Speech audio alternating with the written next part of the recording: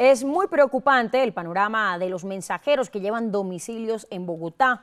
En lo corrido de este año, a causa de las imprudencias, han muerto 115 por accidentes viales en la ciudad.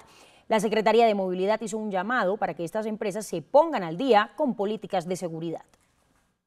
El exceso de velocidad, la invasión de andenes y el tránsito en contravía en busca de encontrar la forma más rápida de llegar son algunas de las normas que con más frecuencia violan los mensajeros que llevan domicilios en Bogotá, según la Secretaría de Movilidad. Los llamados domiciliarios que van en motos y bicicletas y trabajan con aplicaciones como Rappi cuentan con aproximadamente 35 minutos para llevar de un punto a otro el servicio o serán multados. Esta sería una de las causas por las que más accidentes viales sufren por tu dinero en este tiempo o simplemente lo pierdes. Entonces la persona obvia todas las em, señales de tránsito, toda la seguridad simplemente porque va pues por su dinero. Entonces los ponen también, nos ponen en una posición eh, de eso, la vida o, el domicilio. Para el concejal Jeffer Vega, esta empresa está llevando a quienes prestan su servicio a infringir las normas de tránsito, pues los empleados no cuentan con normas de seguridad. No tienen una cultura de seguridad vial, no utilizan un casco, no utilizan un reflectivo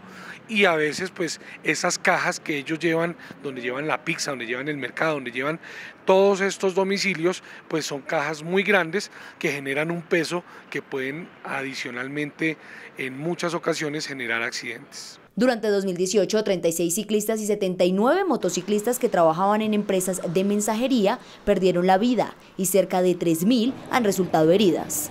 Cable Noticias intentó comunicarse con la empresa Rappi, una de las señaladas por las autoridades en Bogotá, pero no obtuvo respuesta. Natalia Dávila, Cable Noticias.